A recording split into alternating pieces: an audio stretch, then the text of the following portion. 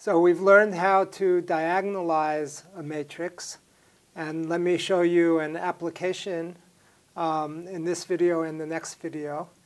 If you can, um, if you want to find a matrix raised to some integer power, like um, a squared, which would be a times a, or a cubed, which would be a times a times a, um, you can do a long series of matrix multiplications or you can shortcut that by first diagonalizing the matrix. So let me show you how that works. So we have some n by n matrix A. And we'll assume that it has um, n linearly independent eigenvectors so that we can uh, diagonalize this matrix. So we can write A equal to uh, the diagonal matrix and then on both sides, we have this matrix of eigenvectors, but one of them is supposed to be the inverse. How do you remember this? Remember that uh, S should multiply A on the right. So this one should be the inverse matrix. Okay? So you multiply on the right by S, and then AS equals S lambda. Okay, and then what happens if we uh, take products uh, or raise a to some power. So let's say a squared. So the matrix a squared becomes s lambda s inverse, right, times s lambda s inverse.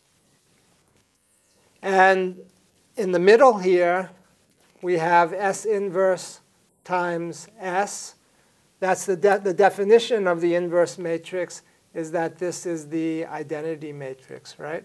So the S inverse S becomes I, and then I times lambda is just lambda.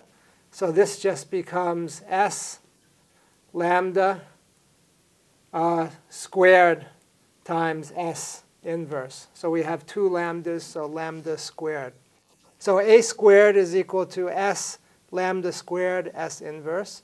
And we can keep going so that if we keep going, then a raised to the p power, so p can be 3, 4, 5, 6, etc., is just going to be s times lambda, the diagonal matrix raised to the p power, times s inverse. Okay? Um, a diagonal matrix is very easy to raise to a power. So for example, if we had a uh, 2 by 2 diagonal matrix. So if we had um, lambda 1, 0, 0, lambda 2, and we try to square this matrix, meaning multiply it by itself, the result would be uh, lambda 1 squared, right? If we do this, lambda 1 squared, 0, 0, lambda 2 squared. The result of raising a diagonal matrix to a squared power is that you just square the diagonal elements. Okay? So the same result would hold if we raise lambda 1, 0, 0, lambda 2 to the p power. That would simply be lambda 1 to the p, 0, 0, lambda 2 to the p. And that would hold for an n by n diagonal matrix. All we have to do then is to raise the eigenvalues to the p power. So lambda to the p is very easy to compute. And then if we have the matrices of uh, eigenvectors and the inverse matrix, then we just do two matrix products to get a raised to a p power. p can be as large as a thousand, say, uh, matrix raised to the thousandth power. Okay, so let me review.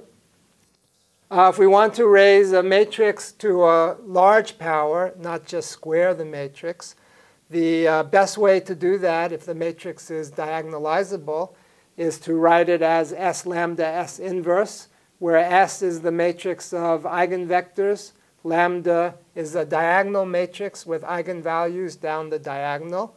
Then a raised to some large power, integer power p would just be S lambda to the P times S inverse. You only have to do two matrix multiplications here.